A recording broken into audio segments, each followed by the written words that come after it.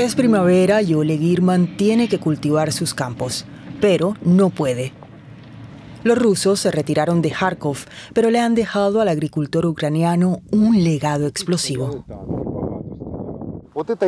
Allí estaba el campamento ruso. Minaron todo el terreno que había delante. Estos son mis campos y solo puede suponerse que hay en la tierra. Para Oleg Irman, arar y cultivar esta tierra con sembradoras pesadas roza el suicidio. Me parece que es una mina antitanque. Estaba cerca de aquí y probablemente estaba preparada con alguna trampa. Tras los intensos combates, se considera que la tierra de la región de Kharkov está contaminada al 100% con minas y artefactos explosivos sin detonar. No es difícil verlo, esto es el extremo de un misil ruso Shmers. En su interior está el sistema de propulsión. Nadie sabe qué más se esconde en el suelo. Oleg Irman ve peligrar su sustento. Antes de la guerra tenía 30 empleados. Desde entonces ha perdido medio millón de euros, nos cuenta.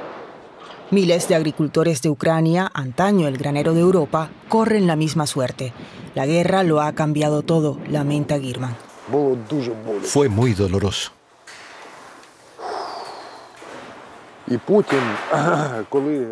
También las historias de otros agricultores. Algunas granjas quedaron completamente destruidas. Ucrania se considera actualmente el país con más minas terrestres del mundo. Organizaciones nacionales e internacionales como la británica Hollow Trust trabajan sobre el terreno para desactivarlas, pero la potencia explosiva bajo el suelo es enorme. Minas antipersona con placas de presión, minas saltadoras, granadas de mano con cables trampa. Estamos encontrando varios tipos de munición de racimo y minas para vehículos en carcasas de plástico y metal. Según los expertos, hay que inspeccionar entre el 30 y el 40% de la superficie total de Ucrania antes de poder considerar seguras las zonas afectadas.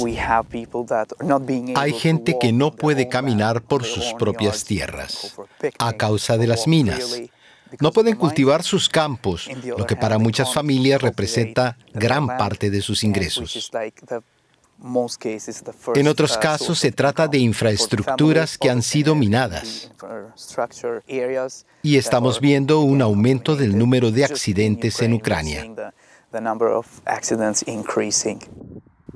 Pero muchos agricultores tienen que asumir el riesgo para sobrevivir, aunque en muchas regiones de Ucrania el trabajo agrícola supone hoy peligro de muerte. Metralla aquí, aquí, aquí. Tomará mucho tiempo para sanar. Es una herida grande. Algunas esquirlas son de metal, pero la mayoría son de plástico o goma. Ahora es soportable, pero el primer día no fue nada fácil. Yuri pasó con su tractor por encima de una mina. Tiene suerte de estar vivo. A pesar de todo, quiere seguir trabajando y está dispuesto a despejar minas por sí mismo para lograrlo. Nos muestra algunos artefactos que encontró en el campo.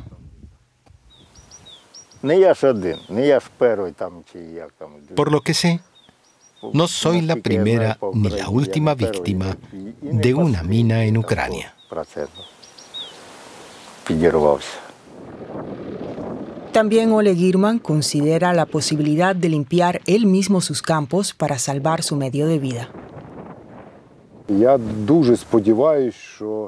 Si no llega ayuda, será el segundo año en el que la gente no pueda trabajar y no gane un sueldo. Muchos se irán y algunos nunca volverán. Será difícil reconstruirlo todo si no comenzamos ahora.